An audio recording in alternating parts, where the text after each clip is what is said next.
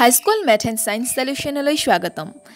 এই ভিডিঅ'টোত আমি নৱম মানৰ গণিতৰ চতুৰ্ভুজ পাঠটোৰ অনুশীলনী আঠ দশমিক দুই চাৰি নম্বৰৰ অংকটো আলোচনা কৰিম। এই প্ৰশ্নটোত আছে এ বি চি ডি এটা ট্ৰেপিজিয়াম। ইয়াৰ এ বি সমান্তৰাল চি ডি বি ডি এডাল কৰ্ণ। ই এ ডিৰ মধ্যবিন্দু। ই বিন্দুৰে যোৱা এ বিৰ সমান্তৰালকৈ অঁকা। ৰেখাডালে বি চিক এফ বিন্দুত ছেট কৰিছে। দেখুওৱা যে এফ বিন্দুটো বি চিৰ মধ্যবিন্দু। এতিয়া আমি অংকটো কেনেধৰণ ধৰণেৰেনো কৰিব পাৰোঁ? চাওঁ আহা। এ বি চি ডি আমাক ট্ৰেপিজিয়াম বুলি কৈছে। লগতে কৈছে যে চি ডি আৰু এ বি সমান্তৰাল। ই হৈছে এ ডিৰ মধ্যবিন্দু। আকৌ চোৱাচোন ই বিন্দুৰ মাজেৰে টনা ৰেখা ইয়াত কি হৈছে? ই এফডাল এ বিৰ সমান্তৰাল।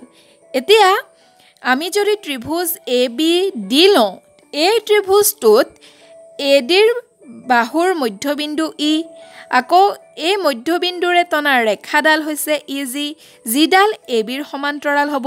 কিয়নো ই জিডালেই চোৱাচোন ই এফ নহয় জানো? হয়নে? ই এফডাল যিহেতু এ বিৰ সমান্তৰাল ই জিও হ'ব এ বিৰ সমান্তৰাল। এতিয়া মধ্যবিন্দু উপবাদ্য মতে গতিকে কি হ'ব? যে এই ৰেখা ৰেখা খণ্ডডালে ত্ৰিভুজৰ তৃতীয়টো বাহুক য'ত কাটিছেগৈ সেইটো হ'ব এই বাহুটোৰ মধ্যবিন্দু। এতিয়া ত্ৰিভুজৰ মধ্যবিন্দু উপপাদ্যটো মই তোমালোকক পুনৰবাৰ মনত পেলাই দিব বিচাৰিছোঁ। ইয়াত মই তোমালোকক আগতেও কৈছিলোঁ ইয়াত চোৱা এটা ত্ৰিভুজৰ এডাল বাহুৰ মধ্যবিন্দুৰে যোৱা ৰেখাডাল আন এটা বাহুৰ সমান্তৰাল হ'লে তৃতীয় বাহুটোক সমদ্বিখণ্ডিত কৰিব। সমদ্বিখণ্ডিত কৰিবলৈ হ'লে তৃতীয় বাহুটোৰ ক'ত লগ লাগিবগৈ লাগিব? মধ্যবিন্দুত লগ লাগিব লাগিব। মই চিত্ৰৰ সহায়ত তোমালোকক এই উপপাদ্যটো আগৰ এটা ভিডিঅ'ত বুজায়ো দিছিলোঁ। এতিয়া সেই উপপাদ্যটোকে ইয়াত আমি ব্যৱহাৰ কৰিছোঁ। যিহেতু এ ডি বাহুৰ মধ্যবিন্দু ই আৰু তাৰ মাজেৰে টনা ৰেখাডাল এই দ্বিতীয়টো বাহুৰ সমান্তৰাল হৈছে। গতিকে ই গৈ য'ত কাটিবগৈ ত্ৰিভুজৰ তৃতীয়টো বাহুৰ এই তৃতীয়টো বাহুৰ য'ত কাটিছেগৈ সেইটো হৈছে এই তৃতীয়টো বাহুৰ মধ্যবিন্দু। গতিকে আমি ইয়াত লিখিছোঁ যি হৈছে বি ডিৰ মধ্যবিন্দু। এনেধৰণেৰে লিখিছোঁ। কাষত লিখি দিছোঁ কিয় হৈছে ত্ৰিভুজৰ মধ্যবিন্দু উপপাদ্য মতে এতিয়া ত্ৰিভুজ আমি বি চি ডি এই ত্ৰিভুজটো যদি লওঁ এই ত্ৰিভুজটোত চোৱাচোন ডি বি বাহুৰ মধ্যবিন্দু যি ইতিমধ্যে মই সেইটো প্ৰমাণ কৰিছোঁ। আকৌ জিৰ মাজেৰে যিডাল ৰেখা অংকন কৰিছোঁ ই এফ সেইডাল চি ডিৰ সৈতে সমান্তৰাল। কিয় সমান্তৰাল হ'ব?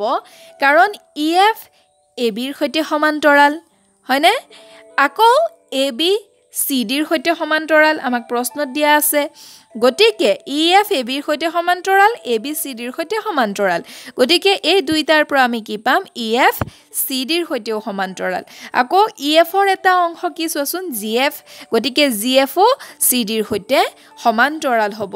এতিয়া এই ত্ৰিভুজটোত ডি বি বাহুৰ মধ্যবিন্দু জি আৰু জি বাহুৰ বিন্দুৰ মাজেৰে ই এফ যিডাল ৰেখা অংকন কৰিছে সেইডাল এই ত্ৰিভুজটোৰ দ্বিতীয়টো বাহু চি ডিৰ সৈতে সমান্তৰাল গতিকে ই গৈ তৃতীয়টো বাহুৰ য'ত কাটিব সেই বিন্দুটো হ'ব এই ত্ৰিভুজটোৰ বি চি বাহুৰ মধ্যবিন্দু।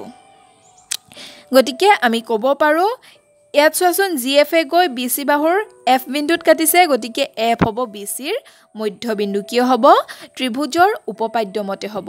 এতিয়া তোমালোকক মই এটা কথা কৈ থওঁ যে এই অংককেইটা এক নম্বৰৰ অংকটো দুই নম্বৰ অংকটো তিনি নম্বৰৰ অংকটো যিমানকেইটা মই এতিয়ালৈকে অংক কৰি দিছোঁ এই গোটেইকেইটা অংকতে কিন্তু ত্ৰিভুজৰ মধ্যবিন্দু উপপাদ্য ভালদৰে জনাটো অতি প্ৰয়োজনীয়।